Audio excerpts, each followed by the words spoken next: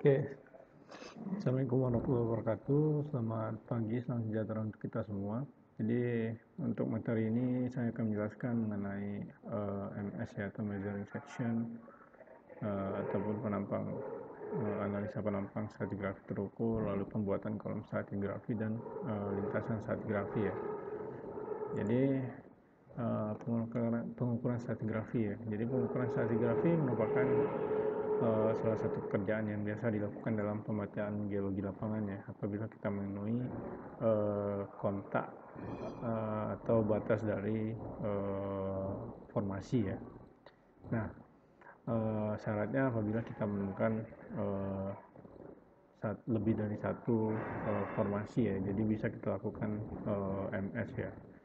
Tapi kalau kita hanya menemukan satu formasi batuan sedimen, bisa kita lakukan uh, pendeskripsian batuan sedimen saja.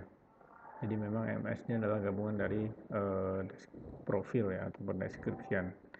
Lalu uh, adapun pekerjaan pengukuran stratigrafi dimaksudkan untuk uh, memperoleh gambaran yang terperinci ya dari hubungan stratigrafi antar setiap lapisan batuan atau ataupun satuan batuan. Nah, ketebalan setiap satuan stratigrafi ini uh, jarak sedimentasi secara vertikal dan lingkungan pengendapan dari setiap satuan batuan. Nah, di lapangan pengukuran stratigrafi biasanya dilakukan dengan menggunakan tali meteran dan kompas pada singkapan-singkapan yang menerus ya uh, dalam suatu lingkaran.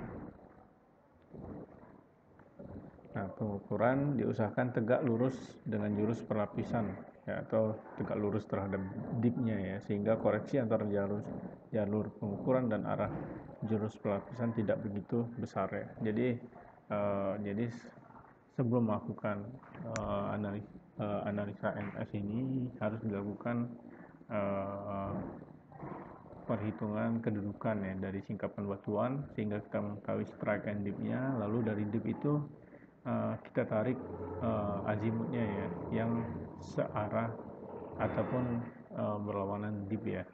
Nah yang paling bagus uh, untuk melakukan MS ini adalah searah dip ya. Jadi kita akan menemui uh, lapisan dari yang tua ke yang lebih muda. Tapi kalau kita berjalan berlawanan dip, maka kita akan menemui lapisan yang muda ke lapisan yang tua. Nah itu makanya yang lebih baik uh, searah dip ya. Next, nah ini adalah metode pengukuran stratigrafi ya. pengukuran stratigrafi dimaksudkan untuk memperoleh gambaran ya uh, terperinci uh, urutan-urutan dari perlapisan satuan stratigrafi ya. Ketebalan setiap satuan stratigrafi, hubungan stratigrafi, sejarah sedimentasi ini sudah ya.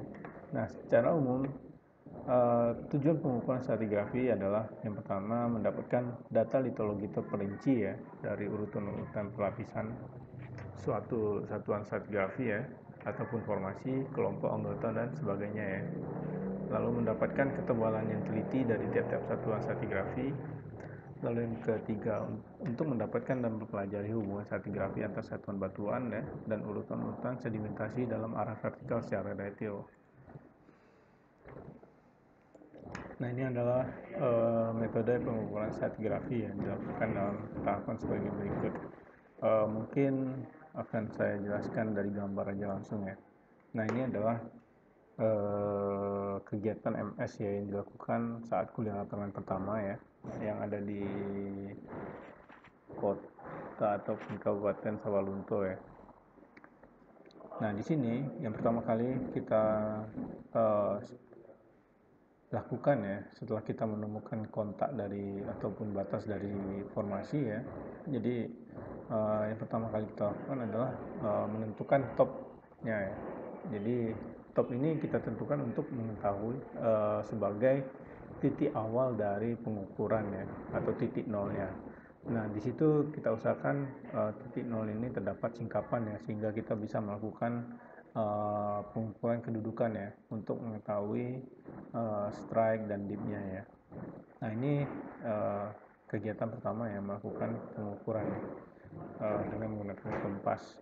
Setelah didapatkan strike dan dipnya maka selanjutnya uh, dilakukan uh, pembentangan ini ya uh,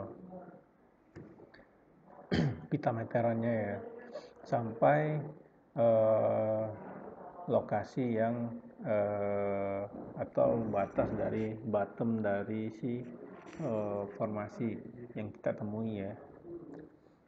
Jadi dibentangkan. Lebih bagus untuk dibentangkan daripada kita mengukur sedikit-sedikit. Sehingga lintasannya tidak akan berubah. Lalu next. Nah ini sudah dibentangkan ya. Pitanya ditarik sampai ke ujung dari uh, batas atau uh, batas formasi yang akan uh, menjadi bottomnya ya next Nah ini proses penguluran uh, pita meteran ya. Setelah pita meteran diulurkan ya sampai ke batas dari formasi yang akan diukur, lalu kita mencari slope-nya, ya, apa mencari azimutnya, ya, arah dari lintasan yang akan kita lakukan. Nah, untuk arah lintasan ya azimut ini ya, kita menggunakan uh, di sini dia uh, azimutnya memilih uh, arah searah dengan dip ya sehingga kalau searah dengan dip uh, lapisan yang batuan yang ditemukan adalah lapisan yang paling muda ke lap, eh paling tua ke lapisan yang paling muda. Jadi di sini yang paling tua adalah basement dari uh, cekungan ombilin ini ya. Merupakan formasi tuhur ya. Uh, lalu kalau nggak salah uh, litologinya batu gamping ya. Lalu uh, di atasnya itu ada kok. Ini ya yang saya tanda ini adalah uh, formasi sawah lunto. Lalu di atasnya yang ini ya. Uh, nah ini. Yang di sini ya yang terang ini adalah formasi sawah tambang ya. Jadi dari sini adalah formasi Tuhul dari sini ke sini adalah formasi Sawalunto dari sini ke atas ini adalah formasi sawah tambang next. Nah setelah kita mendapatkan azimut ya sudah sesuai dengan searah deep ataupun berlawanan deep maka pita ini kita letakkan saja sehingga nanti kita akan mempermudah dalam proses pengukuran ya. Nah setelah itu dilakukan pengukuran slope ya, nah, atau uh, kelerengan dari bidang atau ini ya, uh, uh, sudut lereng atau kemiringan lerengnya ya. Jadi uh, menggunakan kompas ya, diukur terhadap orang yang berdiri di uh, bagian paling ujung ya. Diusahakan setinggi dengan uh, kompasnya.